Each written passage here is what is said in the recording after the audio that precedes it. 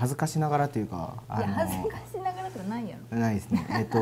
僕あの相当それまでに、まあ、遊んできていろんな経験をしてまいりまして えー、まあ今のとこ使っていい、えー使って はい。あのまあそチャラ男やったんですよね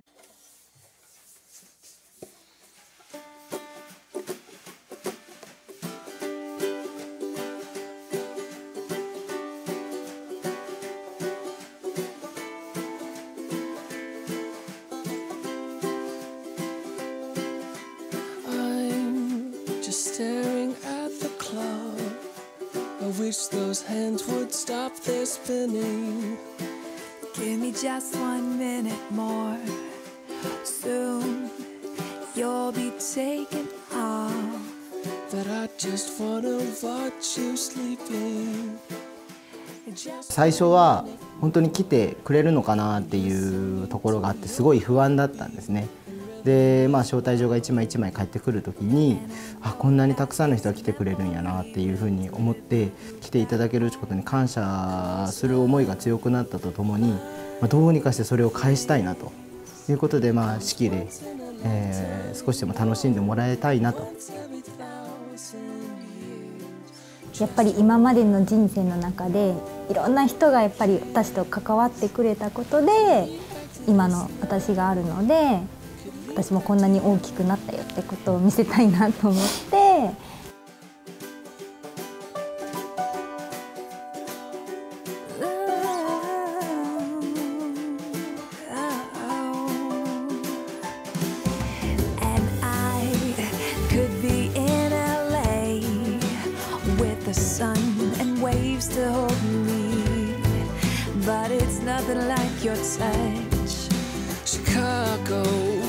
Boston, a Santa Fe.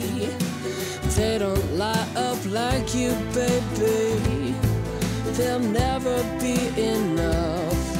As listening to your heartbeat in rhythm with my own. And I know that this memory will deliver me back home. Cause love once in a lifetime. Whoa, once every thousand years. Just one. 自分たちに子供ができた時に自分たちの子供のことを一番に大切に考えてあげたいなって思って今のもう両親が本当に私た私の目指す夫婦像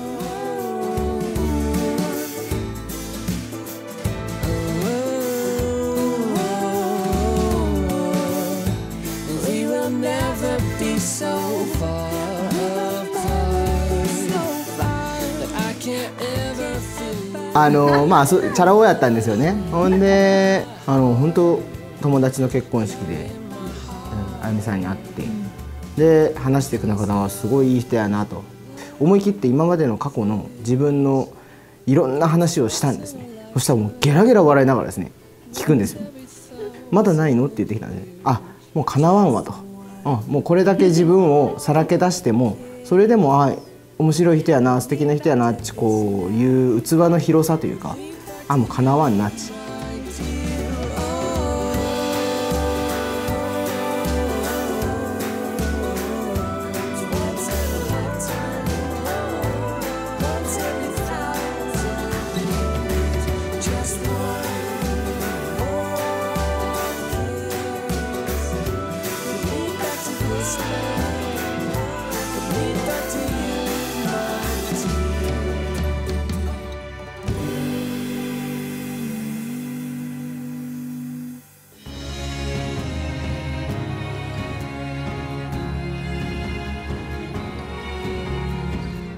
あのまあ、すごい小さい時は体が非常に弱かったんですね。で心臓の手術とかして年齢を重ねても急にカナダに行ったりして心配かけたり親に相談せずに全てが決まった時に行くよっていうような感じだったので あの大人になってもなかなか教員採用試験に受からんとか言ってですねたくさん迷惑をかけてきたんですけどもやっぱり両親は最後まで応援してくれるというか絶対大丈夫絶対大丈夫ってこう言ってくれてたんですね。まあ、それがやっと今こうやって結婚して相手ができて教員になれてっていうところでこれからやっと感謝ができるかなと、まあ、これから父ちゃん母ちゃんにはあの少しずつ返していきたいなと。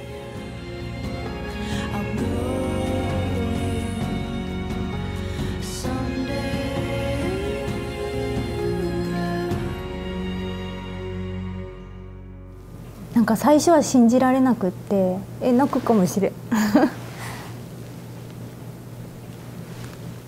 でもなんかこんなに優しいお父さんがなんかなんでお父さんがそのぎ病気になったのかなってもうすごい本当に毎日毎日悲しくって。So 人生のなんか2回目の誕生日になるみたいででちょうどその結婚式の日が1歳になる日なのでどうしてもやっぱり私はお父さんにお祝いをしたいって思ってその式の日が決まった時からもうずっと立樹君にそれだけしたい。それはちゃんとしたいって言ってお願いして自分の家族を見てて本当にこう家族ってあったかいなって家族って大切だなって思うのでたちのこう目指すところがなんかこの親たちにあるなっていうそう何歳になってもこう、ね、お互いが好き同士やし子供のこととっても大切やし。